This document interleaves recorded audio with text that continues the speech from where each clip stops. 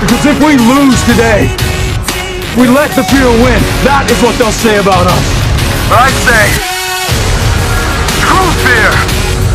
I'm telling my own damn story.